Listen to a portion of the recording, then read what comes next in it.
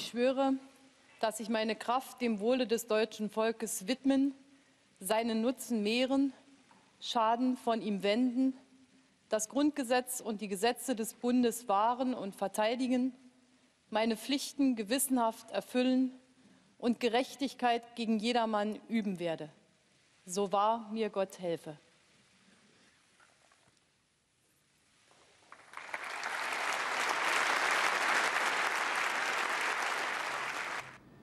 Le 22 novembre 2005, Angela Merkel devient chancelière d'Allemagne, première femme à occuper ce poste, première chancelière originaire d'ex-Allemagne de l'Est, une femme qui va marquer l'histoire de son pays, l'histoire de l'Europe et celle des relations franco-allemandes.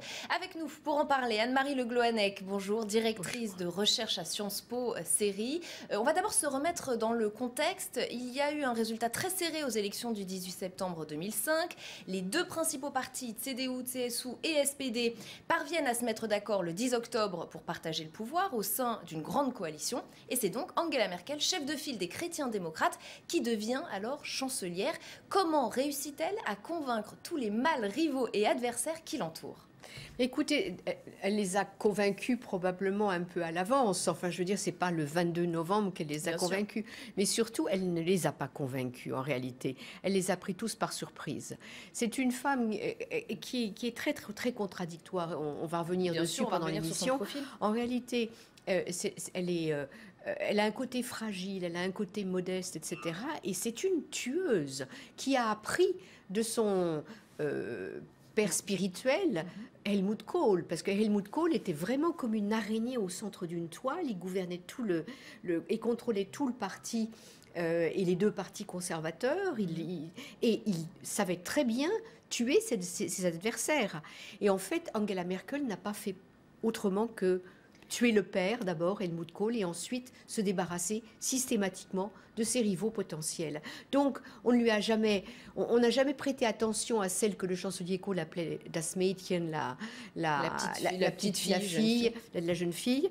Et, et en réalité, euh, elle avait un poignard dans sa poche. Alors, parce qu'il faut se rappeler effectivement qu'Angela Merkel est absolument inconnue à l'étranger à ce moment-là, même moquée en Allemagne pour un style un petit peu rétro, un petit peu gauche.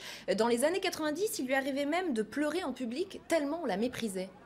En même temps, euh, je crois qu'il faut relativiser ça. D'abord, Helmut Kohl aussi, on, s'est beaucoup moqué de lui. C'était euh, le gros euh, pouf, pouf, pouf, le, celui qui ne connaissait rien à la culture par rapport à son, son prédécesseur, pardon, Helmut Schmidt, qui était un, homme, qui est toujours un homme extrêmement cultivé, extrêmement brillant. Donc Kohl, on, s'en est beaucoup moqué avec cette qualité ou ce défaut qui est de passer à travers les événements en restant imperturbable Mhm. Tiens, ça fait penser à qui? Euh, Et donc, la moquerie, c'est un peu habituel. Cela dit, on se serait beaucoup plus moqué de Angela Merkel, le président de la République en France. Euh, parce qu'avec son style extrêmement modeste, avec son manque de chichi, son manque d'apparat, euh, son peu d'intérêt pour l'esthétique, ça, ça ne passe pas en France, alors qu'en Allemagne, c'est un grand atout. Parce qu'on aime beaucoup, justement, précisément la modestie. Et alors, ça s'est quand même accompagné de, pas mal de succès, puisque c'est elle qui va remettre d'aplomb euh, l'Allemagne. En 2005, l'économie est très affaiblie par le coût de la réunification, plus de 5 millions de chômeurs. Et c'est aussi avec elle que l'Allemagne va revenir sur le devant de la scène internationale. Euh, elle a su imposer une voix, un style, un rythme oui, mais en même temps, il ne faut pas non plus exagérer les, les, atouts. Euh, les succès de l'économie allemande, elle a bien reconnu à un moment donné qu'elle les devait aux réformes de Gerhard Schröder, mhm. qui les avait mises en route avant de perdre les élections. Des, réformes, vous ne pouvez pas en bénéficier mhm. immédiatement. C'est finalement, paradoxalement, Angela Merkel qui a bénéficié des réformes conservatrices, pourrait-on dire, euh, ou, des réformes à droite de son prédécesseur qui était à gauche. Euh, est-ce qu'elle a changé le style de l'Allemagne sur le plan international ah, Gerhard Schröder, tous les chanceliers se sont imposés. Mhm. Je veux dire, il ne faut pas oublier que l'Allemagne a une tradition de très grands chanceliers. Ce qu'elle a, donc elle a imposé une voix, mais les autres aussi, euh, les uns après les autres, ont imposé une voix allemande. Donc là, elle, elle, elle, euh, comment dirais-je, elle, jouait des bénéfices. Elle s'est imposée par un, un style particulier qui est celui de finalement parvenir à imposer un certain compromis, par exemple dans, mhm. euh, à Bruxelles, au sein du Conseil, etc., par sa capacité à écouter les uns et les autres, ce qui est très différent euh, des prédécesseurs qu'elle a eus.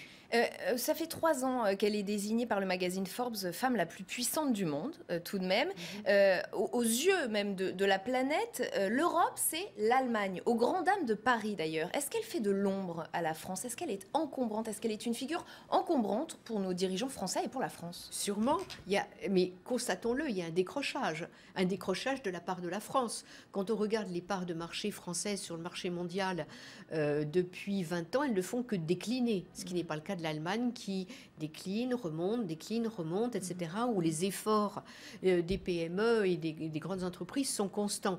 Donc on a perdu des parts de marché dans le monde, on, euh, a perdu une, certaine assurance politique qui va avec le, le, déclin économique. Et donc, si Madame Merkel peut s'imposer, c'est que l'Allemagne s'impose comme un pays incontournable, et cela depuis un certain nombre d'années.